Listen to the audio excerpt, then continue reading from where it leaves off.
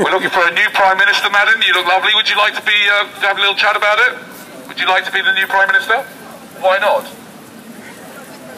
You're Brazilian. We don't mind. It's long cool. you're optimal.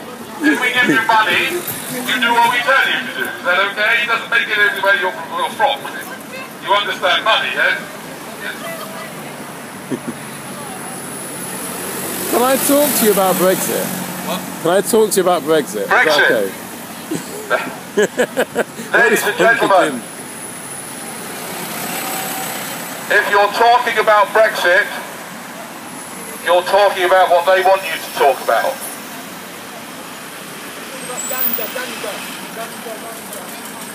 There's a prayer that goes a bit like this. God, alright, it doesn't start off well, admittedly.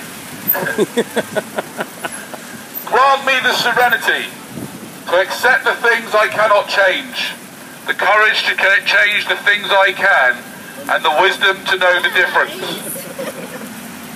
What can you change about Europe? Nothing. There's nothing you can do about it, you people. No point going and playing a crossfire. I mean, anyway, there was a million difference between the, the winners and the losers anyway, so none of your votes made a difference, firstly. Secondly, you can't do anything about all that nonsense. It's nothing to do with you. Already given all that away. By going and voting, you're saying, here, you do it.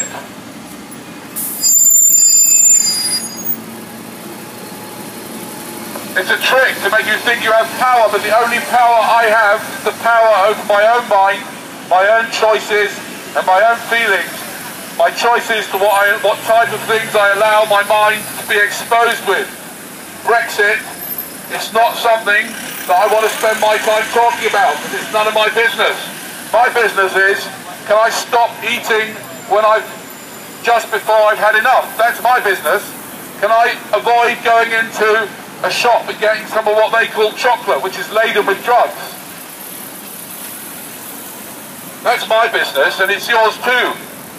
Your business is to go into a shop and look, start examining their marketing and ask yourself, what they're they really up to?